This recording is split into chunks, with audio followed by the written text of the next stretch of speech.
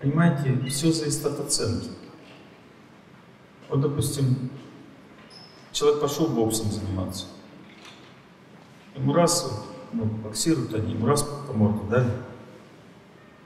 И он заплакал. Говорит, ты что мне так больно бьешь? Тот говорит, слушай, может тебе не надо боксом заниматься. Потому что ты не понимаешь, что я не бью тебя, а просто мы тренируемся. Нет, ты меня бьешь, ты специально так ударил. Назад ему тоже врезал. Это значит, что он не понял, куда попал, понимаете? Не понял, куда попал человек. Точно так же и здесь, понимаете, вы попали куда? Вы взяли вышли замуж за восточного человека, у которого есть восточные правила жизни. И эти правила таковы, что надо слушаться сильно старших. Ее цель не разрушить вашу жизнь. Вы говорите, она вмешивалась в нашу семью. У нее цель не вмешиваться. У нее цель ну, как бы навести, построить отношения. Вот если вы уважаете ее мнение, ее слова, она успокаивается и больше не вмешивается. Потому что ее цель доказать вам, что она старшая. Все. Больше никакой цели нет. Вот она доказала, вы ее уважаете, прыгаете на задних лапках. Все, значит все нормально. Она контролирует ситуацию. Теперь, если посмотреть на то, что произошло. Когда она, как вы сказали, вмешивалась в ситуацию, вы ей не перечили. Не перечили. Но и не принимали. Вы просто обиделись сильно на нее, и она это увидела. Она увидела, что вы не согласны с ее положением старшей. И это в ее сердце зародило сильный протест. Потому что таким образом вы ограничили ее полномочия. Она всегда, всю жизнь имела абсолютное влияние на своего сына. Что она скажет, так он делает. Вы теперь это влияние уничтожили. То есть она теперь не может сказать, чтобы он, как она сказала, чтобы он делал. Она не может этого иметь в жизни. Это конкретный облом.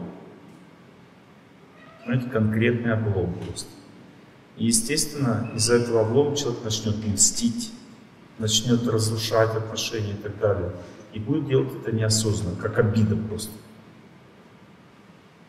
Вот если вы с этой точки зрения подсмотрите на ситуацию, вот, понимая, пытаясь понять ее как личность, тогда у вас не будет обиды и проблем. Вы просто будете вести себя как надо, и она исправится, изменится в отношениях с вами.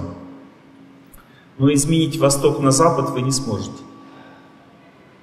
Восток это Восток. У людей такое восприятие мира. Меня больше обижало, знаете, что, что она про моих родных несла клевету, про мою мать. Ну это тоже Восток. Говорила того, чего нет. И Она просто обиделась. Она же не сразу начала, вот вы встретились там на свадьбе, она сразу клевету начала нести. Там кто-то придет, молодец, да? Вот, это не сразу же произошло, правда? Она сначала обиделась, а потом начала нести клевету. Вот вы сейчас, допустим, на нее несете клевету или нет? Нет? Клевета – это просто эмоции. Вот смотрите, допустим, вы говорите, она, если бы она здесь сидела, вы говорите, она вмешивалась в наши отношения. Она такая, слушай, это когда я вмешивалась? Я просто сказала свое мнение и все. Понимаете, то есть а, часто эмоции, которые человек проявляет, воспринимаются как клевета. Но человек сам при этом не воспринимает это как клевета. Допустим, вы говорите, я сказала правду, она вмешивалась. Но для нее это не является правдой. Вот пытайтесь понять такую вещь, что наше восприятие мира ограничено. Вот вы сейчас тоже на нее наклеветали. Ну, с точки зрения ее видения. Понимаете? С точки зрения вашего вы сказали всю правду, да? Также она сказала просто правду, а вы восприняли это как клевету. Понимаете, нужно пытаться понять природу людей, допустим, восточных. Природа такая. Люди сильно авторитетные, сильно привязаны друг к другу и сильно хотят владеть ситуацией. Вот если я, допустим, сильно люблю своего ребенка, я сильно хочу владеть ситуацией. Я не хочу, чтобы он страдал. У вас характер очень твердый такой, непреклонный и такой не покладистый, а такой как бы боевой. Ну как бы, а мама его тоже такой же характер имеет. И она-то хочет какой же, чтобы жена у нее была смиренной, послушной. Понимаете, а ему по судьбе положены вы.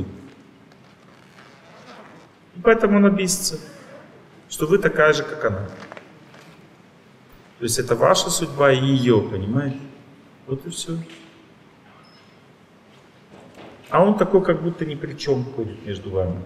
И там у вас искра идет друг с другом, война, а он при делах.